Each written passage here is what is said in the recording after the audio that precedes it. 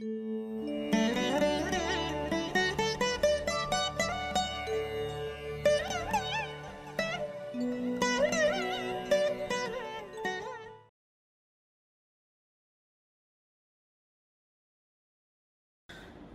அனைவருக்கும் வணக்கம்.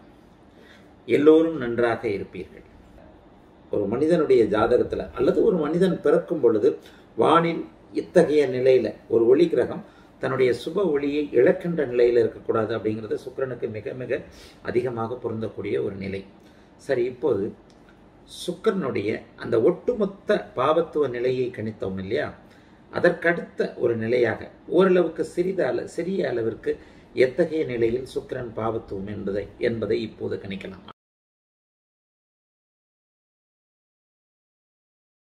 அதாவது பொதுவாக ஒளி கிரகங்கள் பாவ கிரகங்கள் இருள் கிரகங்கள் என்று சொல்லப்படக்கூடிய பாப கிரகங்களோடு சேருவது நல்லது அல்ல அதிலும் எட்டு பதிமூன்று இருபத்தி ரெண்டு என்கின்ற ஒரு டிகிரி அளவை நான் கணக்கில் சொல்லியிருக்கிறேன். எட்டு டிகிரி என்பது ஒரு மிக நெருக்கமான அந்த ஒளி கிரகத்தின் சுபத்துவத்தை ஒளித்தன்மையை இருள் கிரகம் பாதிக்கின்ற ஒரு நிலை. பதிமூன்று டிகிரி என்பது பாதிக்கப் போகின்ற ஒரு நிலை. எட்டு டிகிரிக்குள் ஒரு சுப கிரகம் பாவக்கரகத்துடன் இணைந்திருக்கிறது என்றால் தன்னுடைய ஒளியை கிட்டத்தட்ட ஒரு அறுபது எழுபது சதவிகிதம் இழந்து விட்டது என்ற அர்த்தம். பதிமூன்று டிகிரிக்குள் இருக்கும் பொழுது அது ஒளியை இழக்கப் போகிறது. தொண்ணூறு எண்பது என்கின்ற அமைப்பில் கிட்டத்தட்ட ஒளியை இழக்கப் போகிறது. அதே நேரத்தில்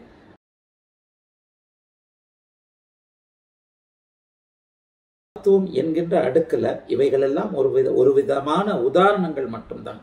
அடுக்கி கொண்டே போகலாம். எல்லா விதத்திலையும் எல்லா காம்பினேஷன்ஸ்லையும் சொல்லிடலாம். பொத்தாம் பொதுவாக எல்லா காம்பினேஷன்ஸையும் நான் உங்களுக்கு விளக்கி கொண்டிருப்பது வந்து இயலாத ஒன்று அது தேவையில்லாத ஒன்று. அதுதான் அடிக்கடி ஒரு ஆங்கில பழமொழி சொல்வதைப் போல மீனை கொடுக்காதே மீன் பிடிக்க கற்றுக்கொள் கற்றுக்கொடு அப்படின்னு சொல்கிறதுனா சொல்கிற மாதிரி சில நிலைகளை படிநிலைகளை தான் உங்களுக்கு சொல்கிறாங்க இதை நீங்கள் இந்த பாபத்துவ நிலைகளை புரிஞ்சுக்கிட்டாலே ஒரு ஜாதகத்தில் என்ன நடக்கும் எப்படி நடக்கும் அப்படிங்கிற ப்ரொடிக்ஷனை துல்லியமாக கொண்டு வந்து விடலாம். சரி இப்போது இங்கே என்ன போடப்பட்டிருக்கிறது? விருச்சிகத்தில் சூரியன் சுக்கிரன் சந்திரன் போடப்பட்டிருக்கிறது. அங்கே சந்திரன் நீச்சம். ஒரு தோராயமாக தான் போட்டிருக்கிறேன். அதாவது அன்றைக்கு கார்த்திகை அமாவாசை. அமாவாசை சந்திரனால் சூரியனும் அங்கே தன்னுடைய பாவத்துவத்தை அடைந்திருக்கிறார். அமாவாசை என்று சந்திரனும் சூரியனும் இருவருமே பாவத்துவத்தை அடைவார்கள். அப்போ அந்த பாவத்துவத்தை சூரியனும் அடைந்திருக்கின்ற அமைப்பில்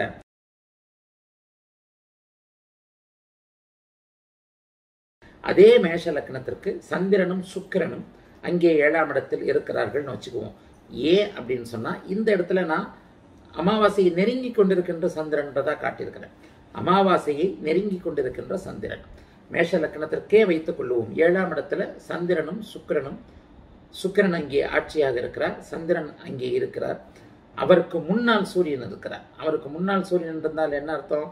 அமாவாசைக்கு முதல் நாளாக இருக்கலாம். அமாவாசைக்கு நாற்பத்தி எட்டு மணி நேரம் இருக்கிறதுன்னு வச்சுக்கலாம். அதாவது இன்னும் இரண்டு நாட்களில் அமாவாசையை நோக்கி நெருங்கி கொண்டிருக்கின்ற சுக்கிரன். அல்லது அமாவாசைக்கு மிக அருகில் ஆறு மணி நேரம் ஏழு மணி நேரம்.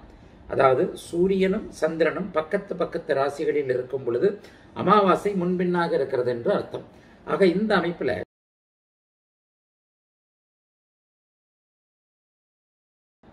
சுக்கரன் சனி மேஷத்தில் இணைவு.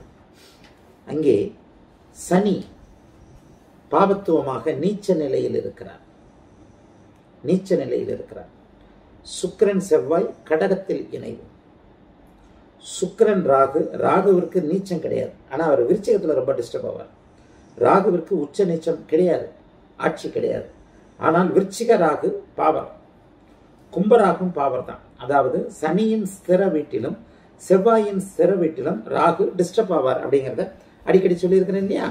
அப்போ இங்கே நீச்சம் அப்படிங்கிற நிலைமைக்காக போடலை. ராகு கெதுக்கள் ராகு கெதுக்கள் ரிஷபத்துல உச்சம் நீச்சம் இதெல்லாம் சொல்லப்பட்டிருக்கும். இதெல்லாம் அந்த காதில் வாங்கிட்டு அந்த காதில் விட்டுட்டு போய்கிட்டே இருங்க. அதே மாதிரி நவாம்சத்தில் ஆட்சி உச்சம் சில சில விதிகள் எல்லாம் பரிபூர்ணமாக உணரும் போது அவங்க சொன்னாங்க இவங்க சொன்னாங்கன்னு நம்பவே வேண்டாம். மூல நூல்களில் ஏகப்பட்ட இடைச்சொல்கள் சுருள்கள் இருக்கின்றன. அதை விட மேலாக